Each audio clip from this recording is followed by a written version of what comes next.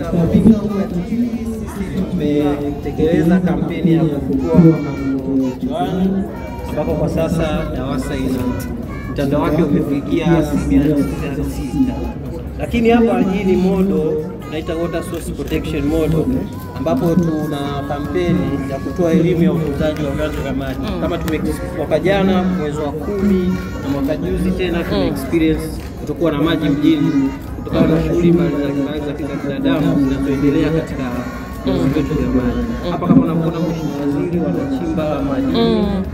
eh, wana block kwa maji hawezi kuja kwenye ile proper flow.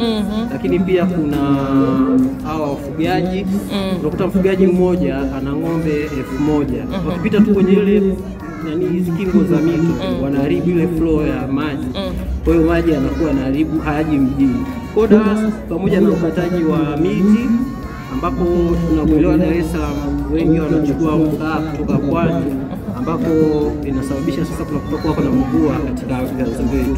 Sawa sawa. Eh, Kwa hiyo Mheshimiwa Waziri, sasa tunaanza kutoa elimu, lakini pia tuna tunashirikiana nao tunapanda miti Good. Eh, eh, Na hapa pia tunaona sasa kwamba ili mtu aendelee, asije akaendelea tu, kwanza hawezi kuendelea kama mna maji, kwa sababu ki- maji haya ni uhai, maji ni afya.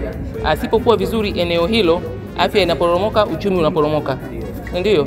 Maji ni, ni, ni, ni mtaji wa maendeleo, si ndio? Maanake tunaposema hivyo. Kwa hiyo tunapokwenda na haya matamasha ya huduma na maendeleo kwa jamii, mnaona saa maana ya kwamba tunakwenda popote. Kwa hiyo wewe unaona kwamba mtu aliyekuja kupata huduma za afya atasikia na habari za maji eh? Aliyekuja kukata kitambulisho cha NIDA atatembelea na habari za maji. Kwa hiyo unaiona logic ya kwenda pamoja kama serikali nzima karibu na wananchi.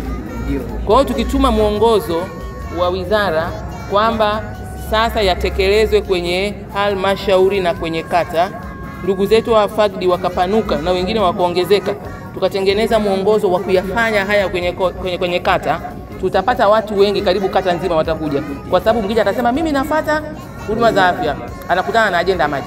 Mimi nafata kitambulisho sijui cha RITA, anakutana na masuala ya maji, si ndio? Kwa hiyo yanasaidia.